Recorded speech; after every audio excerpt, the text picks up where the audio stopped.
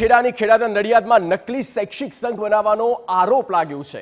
નડિયાદ પ્રાથમિક શિક્ષણ સમિતિની સ્કૂલના શિક્ષકો પર આક્ષેપ કરવામાં આવ્યા. નડિયાદ નગરપાલિકા સંચાલિત શાળાના મુખ્ય શિક્ષકને આ બાબતો ધ્યાને આવી છે. શિક્ષકે સમગ્ર મામલે ઉચ્ચ કક્ષાએ રજૂઆત કરી છે. સરકારી નિયમનું ખોટું અર્થઘટન કરી શૈક્ષિક સંઘ બનાવવાનો દાવો કરવામાં આવ્યો છે અને નવી શૈક્ષિક સંઘ બનાવનાર શિક્ષકો સામે ફોજદારી કાર્યવાહીની માંગ કરવામાં આવી છે. આ મામલે નગરપાલિકા શિક્ષણ સમિતિના શાસન અધિકારીએ રજૂઆત કરી છે. રાજ્ય સરકારના શિક્ષણ વિભાગને જાણ કરી દેવામાં આવી છે.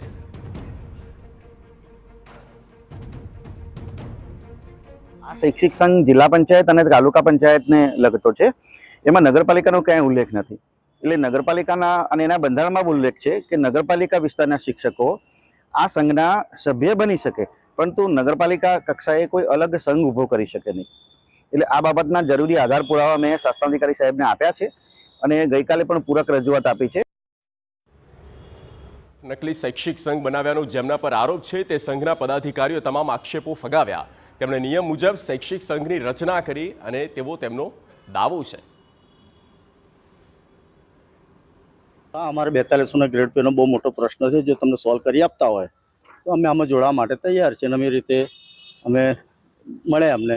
પછી એમને એવું કહ્યું કે ભાઈ તમે સભ્યો કરી દો. પછી અમે તમામ શિક્ષકોની સંમતિ લીધી. સંમતિ લઈ અને અમે એમને કાગળ આપ્યા તો પછી એ લોકો પ્રાંતની ટીમ અને જિલ્લાની ટીમ અહીંયા જલારામ મંદિર ખાતે આવ્યા અને અમારામાંથી એમને ત્રણ હોદ્દા પહેલાં તો આપ્યા અમને અધ્યક્ષ મંત્રી અને સંગઠન મંત્રી.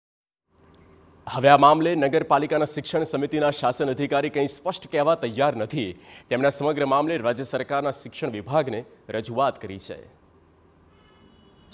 અરજદારની રજૂઆત આવેલી છે, પણ કોઈ સંઘ ડુપ્લિકેટ કે અસલ એવું હોતું નથી. સંઘને અને ટ્રેડ યુનિયનને માન્ય કરવાના હકો માન્ય રાજ્ય સરકારના હોય છે. રાજ્ય સરકારે બે હજાર ઓગણીસમાં પ્રાથમિક શૈક્ષિક સંઘને મહામંજૂરી આપેલી છે.